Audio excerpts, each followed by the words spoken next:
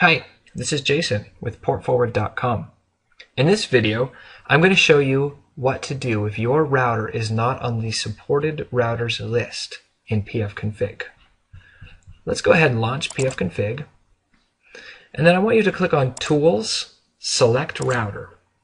If your router is not listed, go ahead and pick this not listed item. And then my router is not listed over here for the model. Click Next. Ignore this screen and click Finish.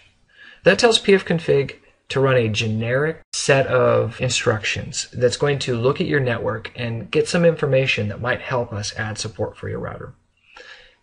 Click Update Router to have it go ahead and run that setup.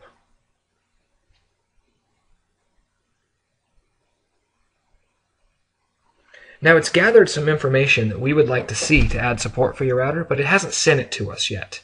So you can click on Help, Request Help to get a hold of us.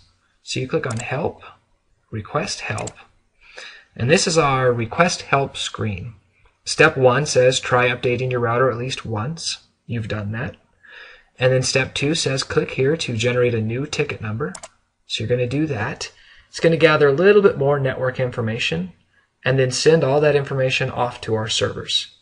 You can see it says your ticket number here is 93415. You, of course, will have a different ticket number. And that information is now sitting on the portforward.com servers ready for either Tad or Alan to look at.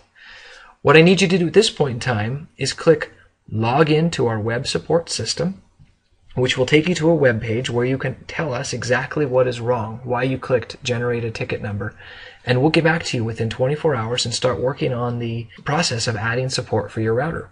We're usually pretty good at it. We're usually pretty quick at it. So don't hesitate to get in there and ask us for help. Be sure to watch other videos at portforward.com if you need some more help. Thanks for watching.